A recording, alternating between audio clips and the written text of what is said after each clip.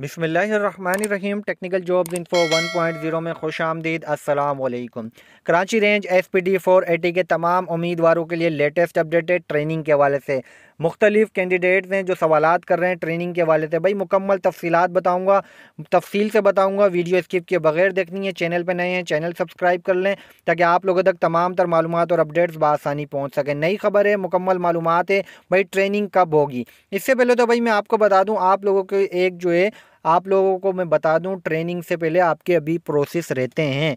आप लोग जो कैंडिडेट सवाल कर रहे हैं, भाई ट्रेनिंग कब होगी ट्रेनिंग कब होगी तो इसकी भी खबर आ चुकी है, मैं आप लोगों तक पहुँचा रहा हूँ, आप लोगों ने समझना है, सुनना है। सबसे पहले तो ये सुन ले, आप लोगों का अभी होगा फाइनल मेडिकल फाइनल मेडिकल होता है गार्डन पुलिस हेड क्वार्टर में, लेकिन उससे पहले जो है, आप लोगों को बता दूँ लिस्टें नहीं आएँगी गार्डन पुलिस हेड क्वार्टर में आपको बुलाया जाएगा, आपका मेडिकल लिया जाएगा, जो भी एक दो टेस्ट हैं, जो लिए जाते हैं गार्डन पुलिस हॉस्पिटल में, वो लेने के बाद आप लोगों की फ़ाइनल मेडिकल के हिसाब से फ़ाइनल लिस्टें जारी होंगी। जब लिस्टें जारी हो जाएँगी तो भाई उसके बाद भी कम से कम 20 से 25 दिन या एक महीना लगता है ट्रेनिंग के जो है लेटर आने में। तो चांसेस यही हैं, जो मुझ तक इन्फॉर्मेशन है मालूम है सितंबर चल रहा है सितंबर कंप्लीट होगा अक्टूबर के स्टार्ट में या मिड में आप लोगों के जो है ट्रेनिंग के लेटर इन ट्रेनिंग का जो शेड्यूल है या जो आपके अपॉइंटमेंट लेटर है ऑफ़र लेटर है, पहले वो जारी होंगे। उसके बाद जाके वही जो आप लोगों के ट्रेनिंग है, उसके लेटर जारी होंगे, लेकिन ट्रेनिंग के लेटर में मैं आपको बता दूँ,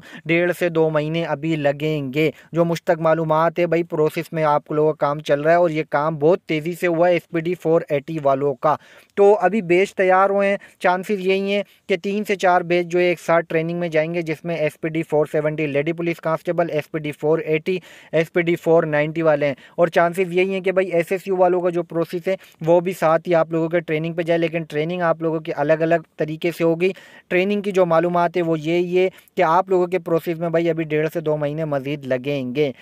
डिपार्टमेंट का काम है, बड़े पैमाने पे भर्तियाँ हो रही हैं डिफरेंट प्रोजेक्ट में प्रोसेस चल रहे हैं तो तमाम तर प्रोजेक्ट्स पे काम हो रहा है। तो जो मुझ मुझ तक मालूम आई हैं, मैंने आप लोगों तक शेयर कर दी हैं। अगर कोई सवाल है, सवाल से करें, कमेंट सेक्शन में जवाब दिया जाएगा। मज़ीद न्यू अपडेट के साथ दोबारा आऊँगा, जब तक के लिए आप सबसे इजाज़त चाहूँगा। अल्लाह हाफिज़।